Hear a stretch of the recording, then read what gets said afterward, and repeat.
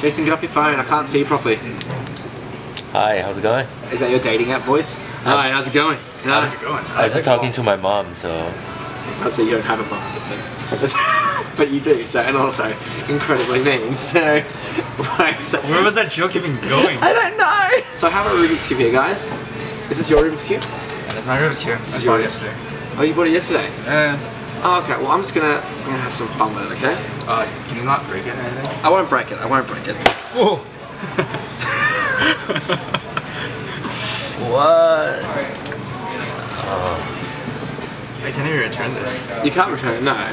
That's pretty cool though. Get a refund, man. Get a refund. You get a refund. Be like, hi guys, it came flattened. Um, Came in flat packaging. it came flattened. Yay! Yay.